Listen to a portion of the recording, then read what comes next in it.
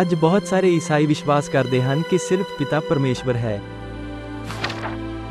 ਪਰ ਬਾਈਬਲ ਦਾ ਮੂਲ ਪਾਠ ਬਹੁਵਚਨ ਰੂਪ ਵਿੱਚ ਜ਼ਿਆਦਾਤਰ ਪਰਮੇਸ਼ਵਰ ਨੂੰ ਐਲੋਹੀਮ ਦੇ ਰੂਪ ਵਿੱਚ ਦਰਸਾਇਆ ਹੈ।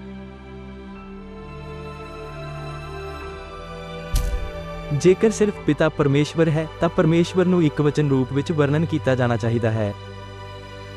ਹਾਲਾਂਕਿ, ਕੇਵਲ ਦੇ ਪੁਰਾਣੇ ਨੇਮ ਵਿੱਚ ਪਰਮੇਸ਼ਵਰ ਨੂੰ ਲਗਭਗ 2500 ਵਾਰ ਐਲੋਹੀਮ ਦੇ ਰੂਪ ਵਿੱਚ ਲਿਖਿਆ ਗਿਆ ਹੈ। ਇਬਰਾਨੀ ਵਿੱਚ ਐਲ ਜਾਂ ਐਲੋ ਸ਼ਬਦ ਦਾ ਮਤਲਬ ਪਰਮੇਸ਼ਵਰ ਹੈ ਜੋ ਇੱਕ ਇਕਵਚਨ ਦਾ ਰੂਪ ਹੈ।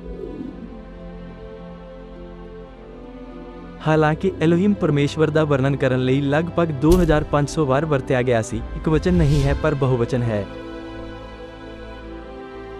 ਇਸ ਦਾ ਅਰਥ ਹੈ ਕਿ ਮੁਕਤੀ ਦਾਤਾ ਪਰਮੇਸ਼ਵਰ ਸਿਰਫ ਇੱਕ ਹੀ ਪਿਤਾ ਪਰਮੇਸ਼ਵਰ ਨਹੀਂ ਹਨ। ਇਸ ਲਈ ਪਰਮੇਸ਼ਵਰ ਨੇ ਆਪਣੇ ਆਪ ਨੂੰ ਬਹੁਵਚਨ ਅਸੀਂ ਕਿਹਾ।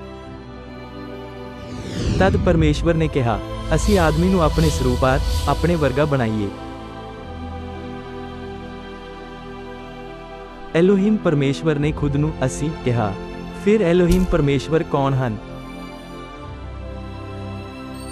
ਇਸ ਲਈ ਪਰਮੇਸ਼ਵਰ ਨੇ ਮਨੁੱਖ ਜਾਤੀ ਨੂੰ ਆਪਣੇ ਸਰੂਪ ਵਿੱਚ ਬਣਾਇਆ। ਪਰਮੇਸ਼ਵਰ ਦੇ ਰੂਪ ਵਿੱਚ ਉਸਨੇ ਉਹਨਾਂ ਨੂੰ ਬਣਾਇਆ। ਨਰ ਅਤੇ ਮਾਦਾ ਉਸਨੇ ਉਹਨਾਂ ਨੂੰ ਬਣਾਇਆ ਹੈ। ਪਰਮੇਸ਼ਵਰ ਦੇ ਸਰੂਪ ਅਨੁਸਾਰ ਨਰ ਅਤੇ ਨਾਰੀ ਬਣਾਏ ਗਏ।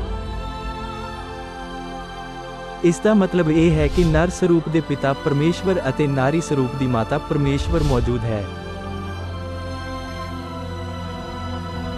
ਇਸ ਲਈ ਪਰਮੇਸ਼ਵਰ ਨੇ ਆਪਣੇ ਆਪ ਨੂੰ ਅਸੀਂ ਕਿਹਾ। ਇਸ ਲਈ ਐਲੋਹਿਮ ਪਰਮੇਸ਼ਵਰ ਸਿਰਜਣਹਾਰ ਅਤੇ ਮੁਕਤੀਦਾਤਾ ਹਨ।